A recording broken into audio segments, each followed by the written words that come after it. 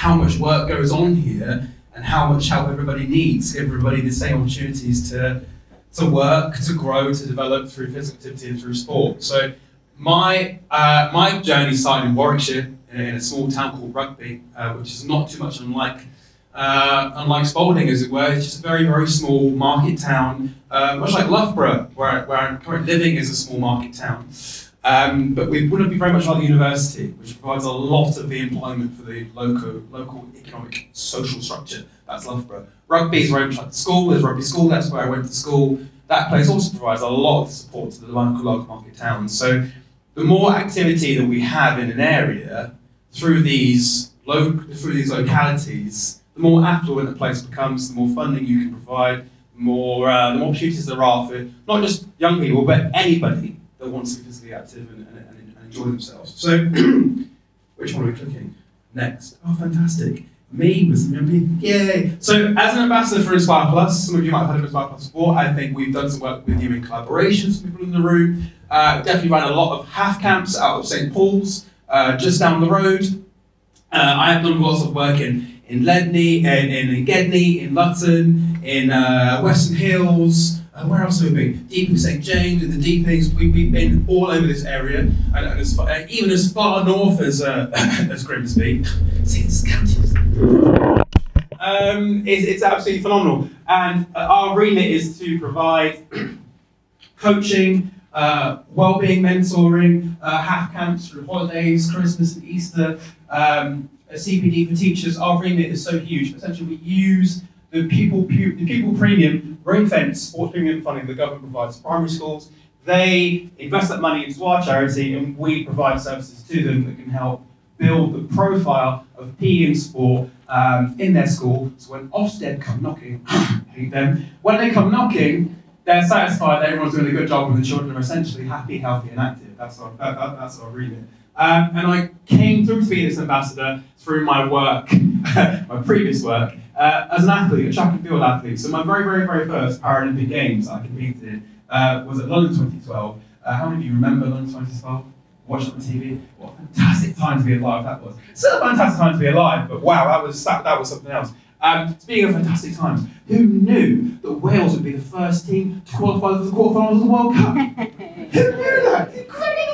And my stepfather, being an Aussie, is crying. He's been crying all weekend. All, he's crying since Sunday night. So, I've never seen an Australian team this bad. So I've never seen a Wales team this good. It's amazing. Um, yeah, fantastic time. So my, my debut was uh, when I was being chased by guys dressed as bananas.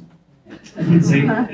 That was the 200 meters, and then four years later, I switched sports and started throwing. Started throwing the shot put. So uh, those are the two events I've been competing in. Uh, and I now do very different. I now do a very different which is cycling. Um, but every story has to start somewhere. So let's show you a really embarrassing photograph. Uh, this was in 1991, I believe, maybe just, just back end of 1990. Uh, there's Mumsy. So, long story cut short, my disability, my impairment is something called cerebral palsy. I was born with it. Uh, three months too early, uh, mum was diagnosed with uh, placenta previa.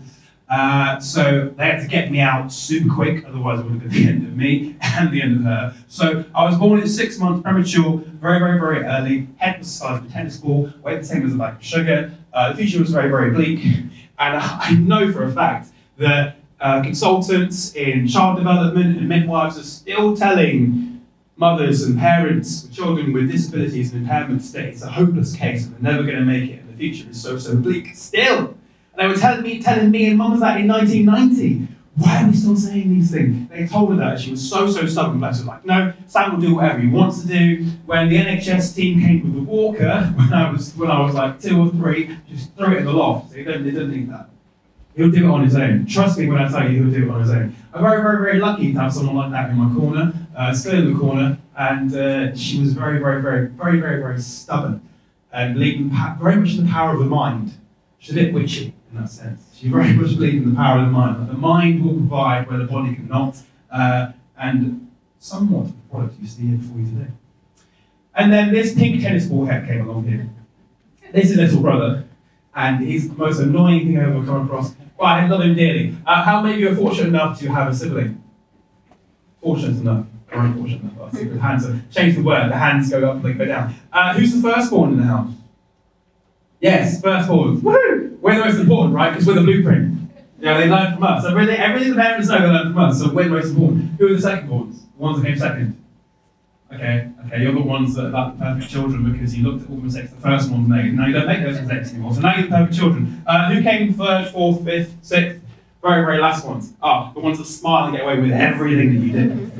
it's like, I can do no wrong. Or maybe, maybe, maybe your parents just stopped caring about them. Whatever it was. Like, we've had this day, you just get, get on with it. You'll be fine, fine, you'll be fine. Um, but my brother and I were best friends. Now, have a look at this photo and you tell me whether you think Sam in primary school was a troublemaker or a teacher's pet.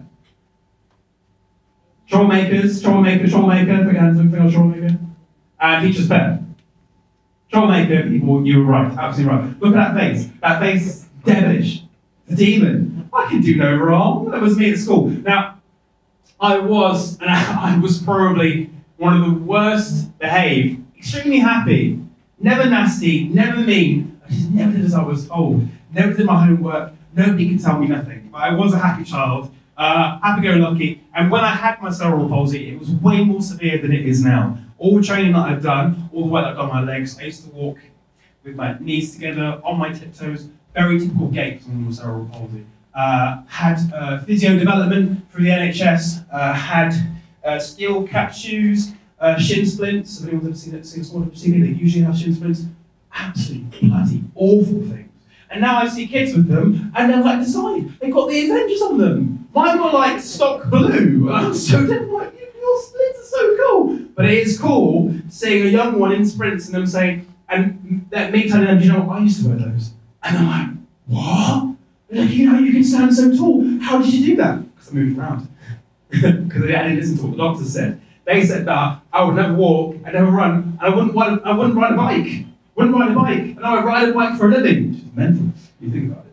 Um, and my brother and I were best of friends, and we still are best of friends. Uh, and I thought it'd be important to show you all, we're going to play a little game, show you all the importance of that everybody kind of starts on the same page. But I'm not going to say that we'll have the same 24 hours as Beyonce, because we don't.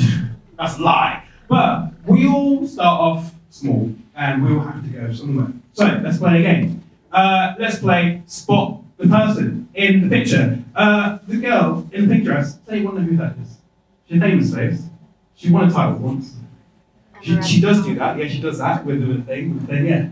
Yeah, that's Emma. That's Emma Raducanu, of course. One and only US Open champion. Um, how incredible was it that Coco Gauff at 19 won the US Open? That was. I loved watching that. What specific moment. 50 years of equal pay as well. Women in tennis, equal pay. I love it. Uh, let's move swiftly forward. Anyone know who this is? Uh, the cheeky chappy in the white in the white t-shirt. Any nerds in the room, uh, movie, cinema heads probably know who that is. When I tell kids, especially boys in year 9, year 10, that this guy trained in ballet before he was Spider-Man, they can't believe it. I'm like, no way, Tom Holland did ballet. Yes, bro. He's trained in ballet, so don't knock it. Dancing's good for you. You save the world at the same time and do ballet. Uh, this one's easy. Isn't it? That's the Ginger Ninja himself. Yeah. That's the one and only. Um, did, did, I remember, didn't he play a tape of his on, on the, uh, what show was it? He was on Ross Holland, he was on, uh, uh, not Jools Holland, what's his name? Jonathan Ross, that's him, yes. So he played a tape of him where he was singing absolutely terribly when he first started out. Absolutely awful. That guy would never get a record deal. And now, he stands at Wembley whenever he wants. He's not Taylor Swift, but still, you know, he does his thing. Uh, this guy, anyone know who this is? Poor guy can't win a race anymore because he's in a slow car, but you know, the procession that is Formula One. No one, no one cares about Red Bull anymore, I'm sick of it. Uh, but then again, years ago, I, am going to paint it both ways. Years ago, he was the one that was in all the races, so you know, he wins, he wins, he wins some, loses. Uh, last but not least, this one's a bit closer to home. Maybe not actually, she's from Sheffield, but still, like, she crushed it in her time. Yeah, the, the former, she's not, once, once Olympic champion, always Olympic champion. So Jessica Ennis Hill, uh, Olympic champion in 2012, absolutely fantastic. So everybody has to start from somewhere. That's my point. Now, my inspirations uh, when I was growing up are from a, a bygone era, uh, before Wi-Fi, before Netflix. You had to wait for things to happen. You know, if one series finished, we had to wait till it was on TV next week and you could talk about it. And uh, you pick up the phone to your mates at 6 p.m. because that's when calls were free. And if you're on the phone, someone to use the internet, you've got to hang that phone up because dial-up connection only works one way. Uh, you know, tapes. I can show uh, some, some, of the kids that I mentor in year, in year 10, like a floppy disk and a VHS cassette, and they wouldn't know what to do with it. it's like, there's, there's things on that you put in the computer. Yes. Look at this CD. This CD has 12 tracks. You can listen to it over and over and over again. How do you think we know lyrics so well? Because we just play these over and over and over again. They never understand it. So my inspirations at school, Power Rangers, obviously. Uh, Michael Jordan and Bugs Bunny in a film called Space Jam. One of my favourite films of all time. I wanted to be a basketball player purely because of this film. Did we have a hoop anywhere near us? No. So Mum improvised. She got a little fruit punnet from like Tesco, gave me some paper balls and said, There you go, Michael. Go for your life. Go shoot some go shoot some hoops because we never caught anywhere near us. We couldn't afford a basketball either, so she improvised. Sometimes you just got to do what you got to do. Uh, these guys are back on TV at the end of the year, I believe. Uh, my absolute heroes, to the extent I went to meet them at Comic Con in Stoke-on-Trent. That's how mad it was. And when you've got when you're being hugged by by wolf, by cobra, and by hunter, people say, oh, "Mate, you are hench." Absolutely made my day. You know when your heroes say that you are hench. I'm gonna, I'm gonna cry. Um, such a good time to be alive. Um, and then this is this is the odd one out. Um, and again, in this day and age, it's hard to explain to children that this is not a woman, it's a man. But you will know this. This is Doubtfire. You will know this is Robin Williams. And I tell them that's also the same guy that played the genie. When you get these kids an education, they're going to learn sometime, sometime soon. Um, this Downfire one out because when I was 11, my mum and my dad got divorced. And we had to move home. It was a very, very, very difficult time. Uh, we took literally took everything in bags. I remember it so clearly. Took everything in bags one night, up to the left, uh, went to the other side of the country, uh, and completely disappeared. And in that period where I was wondering, where is my dad? What's going on? I'm 11 years old. I was like, well, I love my family. This was the film that helped me make light of the situation because, of course, it's a film about divorce. It's a comedy film about divorce. It's really, really funny, and it really, really helped me understand, a lot more about the situation that I was in. So that's why I highlight this stuff as part of this. Again, the odd one out. Everyone knows this person is Maui. But of course, I know him and love him as the great one, people's champion. And if I didn't have cerebral palsy, I would have been a professional wrestler. Guarantee it right now. This would have been my calling. This is where I was going to be. So, just because I wasn't as physically able as all of my peers, didn't mean I didn't gravitate towards things I naturally saw things on TV and film that I couldn't be, that I wanted to be like. Uh, and as a result of that, it all came to a head when I finally started getting into school. School was that place where I could truly express myself in a physical context because there was no really. I didn't go to any clubs after school. I didn't really do anything physically. I went to the park, I played with friends, but it weren't for school or getting involved in PE, even though it wasn't serious, I don't think I'd be doing what I'm doing now. Um, and that's me in year nine. Typical average kid, you know, on free school meals, single parent household. Like the stats and the story would say, I shouldn't be here talking to you coming from British Cycling. The stats don't say that. But I had someone in my corner, head of Key Stage 3, Mr. Ahoy, wonderful guy from Leeds, who pulled me up by my, by my, by my collar and said, Sam, stop being an idiot, stop being one of the cool kids, one of the man there. I know you love, I know you love doing that. Um, you can fix up, look sharp, do what your mum says, and actually pay attention to your studies because you can be really, really, really good. So troublemaker year nine, nice guy in year 11, got some friends that don't bully me, don't pick on me, people that actually rate me. I was bullied a lot at school because the way that I walked and the way that I ran. I had some badges too, so I became head boy. And everything flipped full circle when I went to this place. This is rugby school, and I went here on a scholarship. This is like the Eton, the Harrow, like the big boys of independent public schools. Um, and I can only go here on a scholarship because this place is like £20,000 a year to go to. Uh, so they paid for everything, my books, my lessons. Uh, my science teacher, who was also was, who was also the basketball head coach, actually paid for my kit for me because we couldn't afford that either. So I literally am a product of scholarships, grants, and other people's favours. Um, and a lot of that is comes, comes down to me working hard for it, yes, but the opportunity and the funding and the uh, the uh, had to be there in the shop window for me to be able to access it. it had to be there first, which is the most important thing. Um, went to Loughborough University after A levels because I was a nerd, and it was there I started playing American football. and still was trying to be part of that Jackson 5 tribute band. maybe Earth, Wind and Fire, maybe, that, maybe that's a better one. Because it is September. Do you remember? Hey, you play that song anyway when it goes off. What a incredible tune. Um, and, uh, and again, you're probably wondering, how do you fit a helmet under that? It's like, you can. Trust me, everyone loved it. Just take helmet off. Okay, this afro. So great. It was such a good time to be alive. Um, but I think the most important thing about that journey through playing a contact sport at university, what would have made things really inaccessible for me was not necessarily because although I have cerebral palsy, I'm still I'm still seen and perceived to be quite able because I don't use a mobility aid. So nobody looks at me and thinks, oh, you know, he might struggle. But when it comes to me running in a straight line, I'm like Bambi on ice. So you can imagine a contact sport where you can pretty much always be hit. It's not like rugby, like you have to be, have your head on a swivel.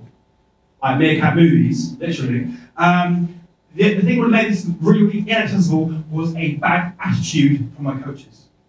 And that pretty much 100% of the time, it's not facilities, it's not funding, it's not opportunities, it's other people and their perceptions and their attitudes towards someone else and then making their own assumptions based on what I think you can get out of this. So I don't think it's for you. Don't bother taking part. If my coaches had had that attitude, this would never have happened. They welcomed me with open arms and said, Sam, the fact that you want to play football means we're going to embrace you. And I was one of the only people in the British University League at the time to have a disability and play this game.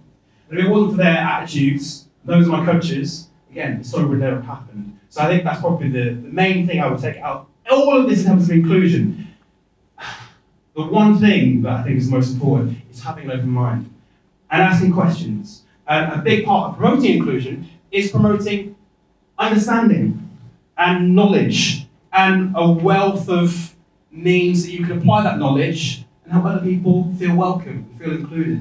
Um, and that comes from networking, which is a big part of why you're here today. So big up yourselves. Uh, London 2012, long, long story cut short. So I went from football to athletics are being talent spotted by this man here. That's Joe in the black in the black top. He's Coach Joe. Uh, he, he found me in December 2011. Said you look like you can run fast in a straight line with cerebral palsy. Oh, acknowledge he was the first one ever that spotted my disability and said you can actually run with that in like para sport. You do know that, don't you? First person to ever see it. And first person to ever say, Sam, you have talent for this. You have a talent for running straight line. Really? Me talented in sport? No, never. I'm a nerd. Too much time for my books. But he saw it, August 2012, long story cut short. I'm calling Mumsy on the phone in Tesco, buying some bread, when I got the call from the selectors saying, Sam, we're going to select you for the Great Britain squad. First ever vest for GB at London 2012, biggest event on the planet. And I was going, she broke down in tears. Because all she could see and hear down that phone was a tennis ball headed bag of sugar. But now, in this country, in front of 80,000 people, Everyone's crying. And what a time to be alive? It's literally pushed so. We wouldn't be having conversations around para sport and inclusive sport, inclusive activity now, if it wasn't for these friends of mine being blasted all over the TV, all over the newspapers, all over the internet. Yes, I'm not stupid. It didn't check, it didn't suddenly wave a magic wand and everything was better. But it certainly helped challenge perceptions. It certainly helped challenge attitudes towards what people with disability can achieve as opposed to what they can't achieve. That's the most important thing. And ultimately, people saw it as an opportunity to see people not as disabled, but just differently abled. They just do things differently to the norm. And that was probably the best thing about the Paralympic Games. Now, I switched sports because track, I wasn't as fast as I thought, so I switched sports. I went to throwing things, throwing cannonballs into sand. That required a massive change of training, lots more weights, getting bigger, getting hench, which I enjoyed the most. Uh, but then I started getting really worried, really, really, really, really worried, really scared. So I like to use Pikachu as a result of this. I got really, really, really scared because it was a brand new event, a brand new thing, and if anyone remembers the last time they felt nervous, scared, or anxious, it's usually because of something that you didn't understand, you don't know. And we've all been there as practitioners. We've all come across someone, a situation, or something, or individual, and you've gone, oh, I don't know how I can help you. And you tried to figure out how to do it, and you said, oh, I don't really know what to do. Ah, okay, I'll ask someone else. Well, you really, really want to help them. the best thing you could do, like how I felt when I got to Rio and I realised that this is way over my head, I don't have enough time to prepare for this, and it sucked. I failed because I let the nerves and the fear and the anxiety get into my head. And I wish I'd learned what I learned as a result of that. Unfortunately, it's typically the way, something bad has to happen to you first to learn how to deal with it, so when it does happen again, it doesn't affect you as much later. That's how pain works, that's how experience works. A bad thing has to happen. So sometimes you just got to learn to trust yourself. That fight or flight thing is a real thing. It lives inside you, it lives in all of us. Uh, you can fly or you can fight, know, like Peter Pan. Uh, and it's part of our natural defense mechanism. It's there for a reason. It's completely natural, but what you have control over is the response. This is what we have control over now. We don't have to worry about how that thing made us feel. Oh, we're anxious, we're scared, we're nervous. Um, and then the emotions take over. But we can actually control, we can't control the situation and how it made us feel, but we can control how we respond to it. And I learned that through the bad experience in Rio that absolutely sucked. Everyone needs a WAP. Everyone needs their wellness action plan. Uh, and I think part of that plan is very simple. Uh, being hydrated, eating well, and sleeping well. The simple things done well. The building blocks to, to, to health. Before we even talk about being physically active, come on, click it, work with me here. Before even being physically active, these are the things that everybody can do to a certain extent to help them take care of themselves and work through those through those emotions. And one of my favourite rappers, poets. This is the only. This gentleman is the only man to win the Pulitzer Prize for uh, an art prize for one of his musical albums. And he famously said, uh, "I've got some regrets, but my past will keep my best."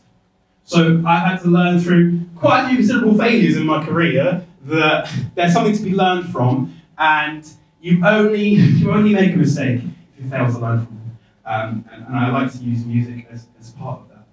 Uh, and cycling was another talent ID program. Thank you UK Sports. Thank you Sport England. Um, I, I'm not I'm not silly that I fully believe that the reason why we are on non-lottery funding publicly funded money is because we're a big part of that inspiration piece from the, yes, it's from the top down, but we're a big part of the inspiration piece. And I tell you, and, and, I, and I firmly believe this, after the World Championships, where I won this, won the Highland Coup, won the Highland Coup, after the World Championships, I had messages from parents, from children with cerebral palsy, that said, my son wants to ride a bike because he saw you on TV, saw the way you walked, and he was like, I, I, I know, I, I, he, he does what I do. He waddles around. And they want, they want to get on bikes. Like, and that was amazing because the World Championships, for the first time ever, were, this is amazing, the first time ever, they were combined together. The Olympic and Paralympic teams were on the same track at the same time, of the same crowd. The, the, the best example I think we've had after the Paralympic Games was the Rugby League World Cup in 2022. We had the men's tournament, women's tournament, and the wheelchair tournament going on simultaneously at the same time. And at Old Trafford, even though Kevin Sinfield got the biggest cheer today, because he's Sir Kev, um, the, the biggest cheer aside from Sir Kev was when the men's team, the women's team, and the wheelchair team all were given their trophies in front of the entire crowd at the, end of the tournament. It was fantastic. Showed it could be done. So we were integrated for the very, very, very first time. And this is a actual proof that it happened. Everyone wants proof. Second right gets underway for Great Britain. Actually, wait, let's break that. So, just for con- just for context, just for the context, I am the second to last rider to go up in the kilo final. Okay, I know I have a time to beat. I'm fully prepared in my head, even though I'm a competitor. Why would you not go into a race wanting to win? I, am fully aware of where I stand. The Chinese in this race on paper were faster than me, and I knew that. So I was fully prepared to go into the final going, I'm just going to repeat my performance, and what will be, will be. I probably won't win, won't win the gold, but I'm going to be, I'm going to be here once. I'm going to make the most of it and do as fast as I can. So I'm the second last rider to go, and all I can do is go as fast as possible. Right, let's see if that will play again. Come on. Oh, he's ruined it. He's absolutely ruined it. No! Oh, technology is a pain in the Right, let's try this time. Come on, boys and girls. Click. Oh, I, I think it's, it's broken. No, it's not broken. Yes. What's time? What's time? Sam Ruddock gets underway for Great Britain. So, the the key to a kilo race, anyone that watches and has seen a track race, is to get the bike up to speed as quickly as possible. Went three down. Uh, and in a time trial, the the time stamps always go red or green. Red is bad, red means you're too slow, get quicker. about spot on. Same time as we rode And for the majority of these in the splits, afternoon's program. I'm down on the clock. So I'm 1.2 seconds behind the leading rider, but the bike is getting faster, but I'm still not gaining. So I'm 1.4 seconds and everybody's watching. Still 1.4 seconds to gain in a lap as uh, in 250 meters. Now, This is a little bit still Time 1.1, trial. Final lap here for Sam Ruddock. Really half a lap to go. The lap take is building, it's 0.4, One quarter of a second down now. He's coming with a rush. and the crowd goes mental, pushing over. It is indeed. And the 0.3 time, Give a second averaging, averaging nearly 50 kilometers per hour. So, so, so fast. Um, and uh, thank you. Uh, that was absolutely mental. I can't, I cannot express the feeling of coming round the corner, and having a crowd just push you, just push you over the line because you know, you're getting so, so, so, so close. Um, I think this is probably the best bit though. This is this is me in the hot seat, so I know I'm the leading rider, and the last rider is currently about to finish his last lap.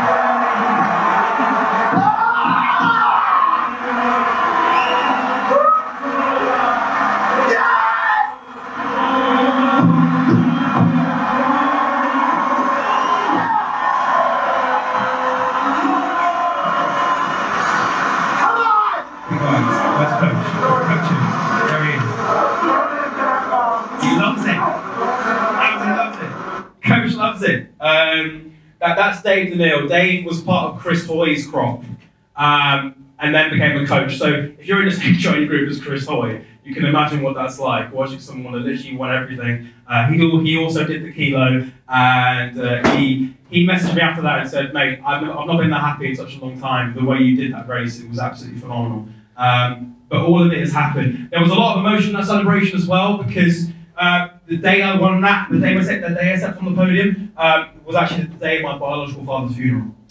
Um, and it was a very, very, very bittersweet day. Um, it's it's really it's really hard to feel. It's, it's hard to feel for for a stranger, someone that you hadn't spoken to for nearly 16 years, uh, and you do wonder um, what could have been. But despite everything that's happened in the past, as I said, uh, you can't let your past keep you from your best because the potential is always always there. And I there are in terms of I know we're here to service the whole county and not just people, but when it comes to young people, all they need is someone like someone like my key stage three manager. You know, someone that sees something in them that they don't see in themselves and just says, no, you can do this. Pick yourself up. We're going to help you. We're going to do it. We're going to move it. We're going to move the needle together. And, uh, to keep faith. And I think, think that's probably the most important thing. Um, so uh, thanks everyone for listening. I appreciate your time. I really hope that you find this day worthwhile. Uh, and I also hope that you know, no questions too big, no questions too small. There are no stupid questions, just stupid people. I'm joking. um, thank you again, guys. Have a wonderful day. And, uh.